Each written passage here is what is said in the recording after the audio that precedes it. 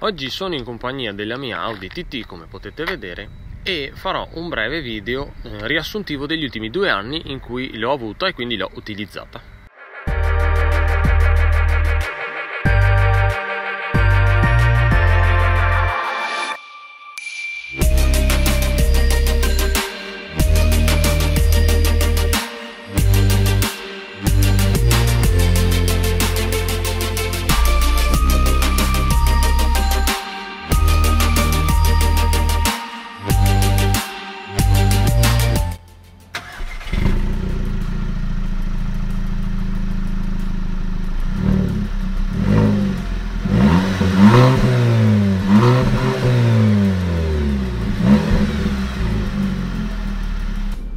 Mia Audi TT, come vi dicevo, due anni e qualche mese di utilizzo e sono pronto per fare un nuovo video per spiegarvi bene se sono contento oppure no.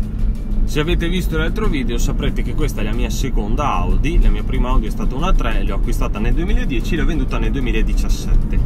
Dopo 7 anni ho scelto di prenderne un'altra perché la qualità dei materiali è sempre di ottima fattura e di ottimo livello Così ho optato per questa TT. Questa TT è una seconda serie del 2009, monta il 1008 TFSI turbo benzina da 160 cavalli e eh, tralasciando i dati vari andiamo dritti al nocciolo della questione. Vale la pena prendere una TT oppure no?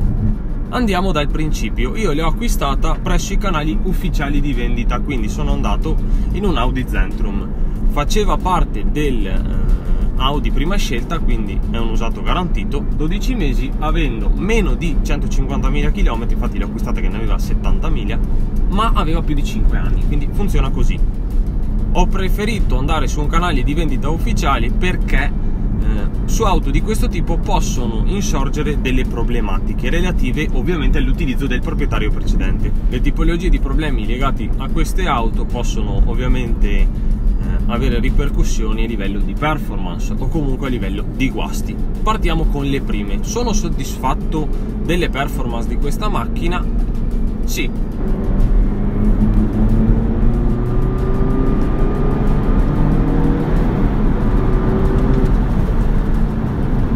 Nonostante non abbia una cavalleria esagerata, se la uniamo al peso comunque ridotto, è agile, ha una buona ripresa, non c'è tanto turbo lag, quindi posso dirmi soddisfatto.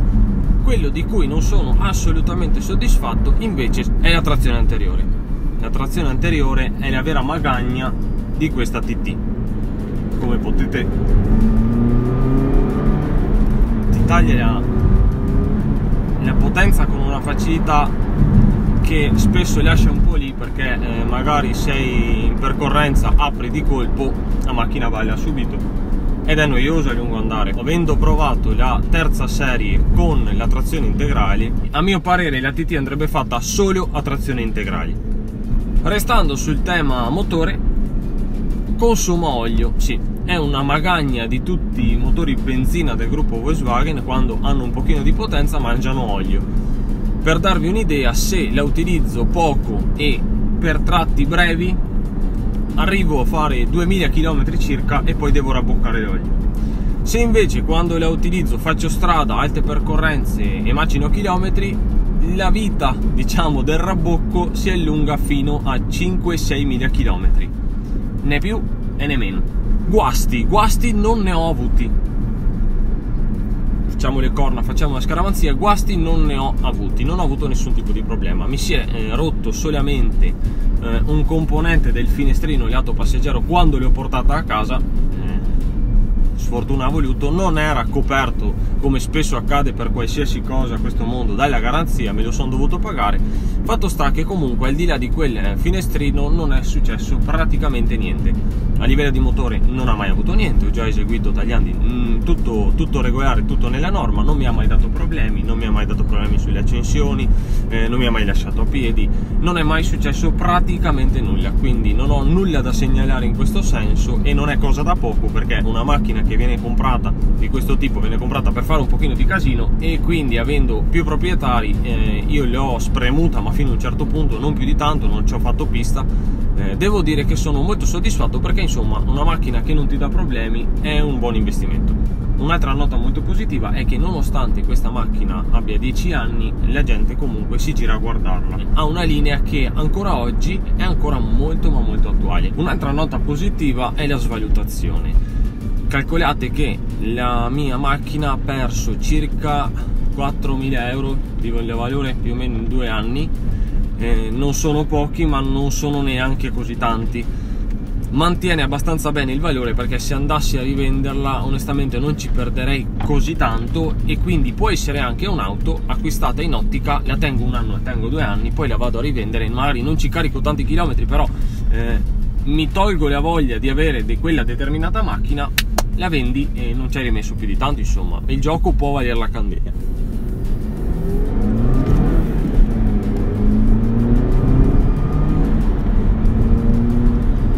pressione è sempre molto buona, insomma, ha i suoi anni, però ragazzi miei, quando metti giù mi piace un sacco, mi piace un sacco. E sono soddisfatto del cambio manuale macchina non viene utilizzata tantissimo e non si fanno tantissimi chilometri, il cambio manuale è ideale per questo tipo di auto. Ho provato il cambio S-Tronic, è meraviglioso, tira delle cannonate pazzesche, la macchina va su in una maniera, guadagna velocità in maniera spaventosa, ma col manuale ti diverti tanto, hai, sei più coinvolto nella guida, infatti se il cambio S-Tronic non viene messo in sport, eh, tu sembri un qualcosa di superfluo a bordo perché la macchina fa quasi tutto il cambio non mi ha mai dato problemi non ha mai avuto nessun tipo di difetto.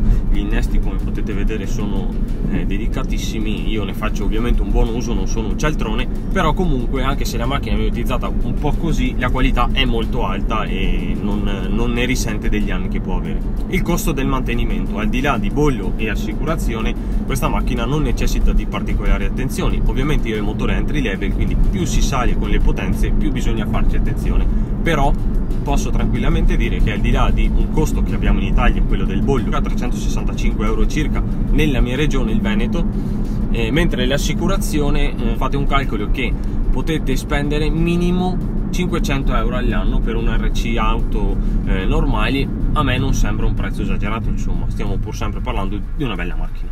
A livello dinamico lo spazio è poco, in questi due anni e mezzo quasi eh, a volte lo spazio è venuto a mancare, spesso se dobbiamo fare dei giri in compagnia i due posti dietro sono inesistenti quindi prendiamo un'altra auto.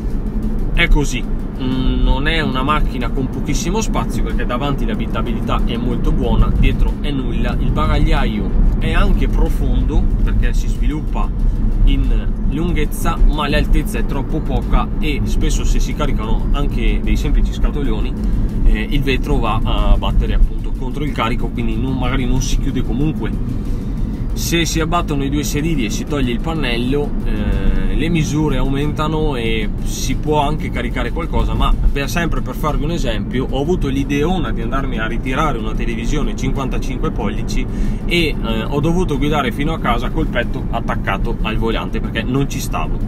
Dunque se volete la TT è un'auto sportiveggiante prendete le trazioni integrali dimenticatevi di fare grosse spese, grosse compere, però,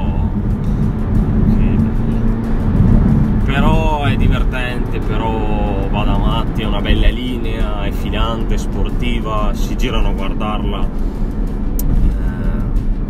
Eh, è una macchina che ricomprerei e che, eh, come spesso accade ai possessori di Audi TT, li mette in crisi. Mette in crisi il possessore perché? Se la deve vendere perché gli serve una macchina più comoda, ne fa una malattia, ci rimane sotto. Se la deve vendere perché costa troppo mantenerla, ci rimane sotto. Se la deve vendere perché ne vuole comprare una più performante, è obbligato a guardare marchi anche tanto tanto più costosi. Quando si va a vendere una TT eh, che sia il 2000 TFSI, che sia la TTS o l'RS, che sia una TT con un 2000 pompato, insomma qualsiasi versione sia, spesso si va a vendere e si va a guardare la Porsche Cayman. Questo vi dà l'idea di che potenzialità ha questa macchina. Se posso darvi dei consigli eh, sono i seguenti. Compratele presso reti ufficiali perché non avrete grosse sorprese e nel caso in cui succeda qualcosa c'è sempre la casa madre che risponde Audi Italia è sempre molto disponibile, se hai un problema ai telefoni eh, ti rispondono, non ti trattano come l'ultimo dei clienti o come un numero, qualsiasi auto tu abbia, puoi avere anche un 1600 a gasolio, eh, il servizio clienti è molto buono per quanto riguarda Audi Italia. Poi i singoli concessionari lì va un po' a fortuna mh, mm, perché non tutti sono così disponibili e così carini, però insomma così, questo vale per eh, qualsiasi attività lavorativa insomma compratela se non dovete fare dei chilometraggi esagerati perché anche se davanti è spaziosa ed è comoda poi starci seduti per delle ore è molto comoda ma non è proprio un'auto da viaggio. Io la consiglio su quei 10-15 mila km all'anno è perfetta per quei chilometraggi. Per trovare questa ho eh, scartabellato nell'usato e ho visto circa 120 TT perché la cercavo con un allestimento particolare, volevo le sedili dentro e fuori, volevo i sedili in Alcantara, pelle Alcantara, volevo il cambio manuale, volevo il motore turbo benzina, insomma avevo un sacco di voglie, alla fine l'ho trovata quasi perfetta, mancavano i fari a LED che li ho ordinati presso il rivenditore ufficiale Audi e sono stati installati aggiungendo una centralina di controllo, quindi eh, l'ho aggiornata al modello diciamo 2011 perché i LED sono usciti con il TTS del 2011 forse uno dei pochi a fare un upgrade eh, sulla carrozzeria della macchina senza averla sbattuta.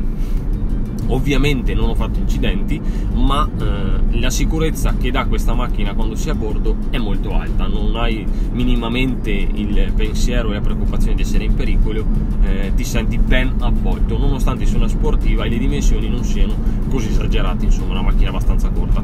Questa macchina oggi la trovate ovviamente solo usata, è la seconda serie, ma eh, ha molto mercato. Se andate nei eh, tradizionali canali di vendita ne trovate tantissimi, se io volessi andare a rivenderla non credo ci metterei così tanto, sia perché è tenuta bene per carità, però comunque è una macchina che attira molto.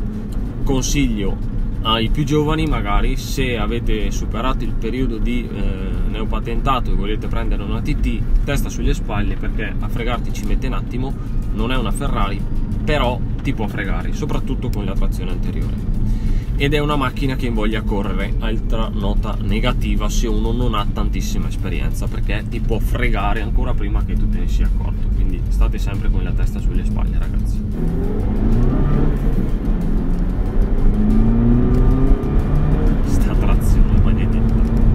Però quando tu li lasci poi vai a ridare gas, c'è subito.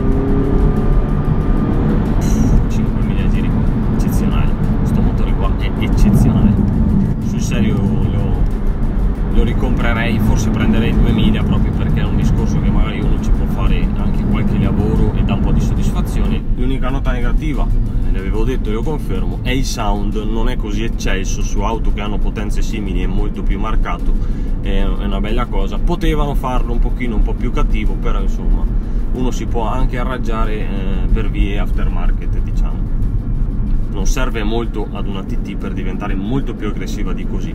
Credo di avervi detto tutto, qualora abbiate delle curiosità, delle domande, siate in procinto di comprarne una, scrivetemi pure nei commenti, sarò ben felice di rispondervi.